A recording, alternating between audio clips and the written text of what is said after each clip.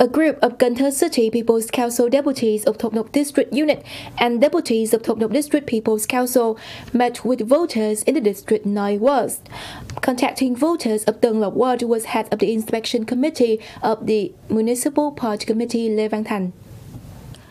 At the meeting, there were 46 comments and proposals of voters forwarded to the deputies of the People's Council at all levels regarding socio-economic development and welfare, such as the upgrade of traffic infrastructure for certain routes, the overcoming of inundation in some roads, the slow implementation of projects, among other issues.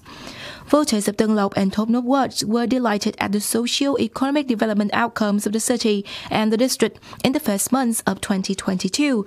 They also proposed People's Council deputies of the city and the district devise solutions to stabilize the price of agricultural materials and petrol, expand the market and seek consumptions for agricultural products and attract investors to the locality.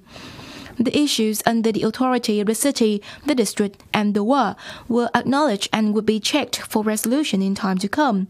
For all the proposals that are outside of their authority, the People's Council deputies will forward them to competent agencies as prescribed.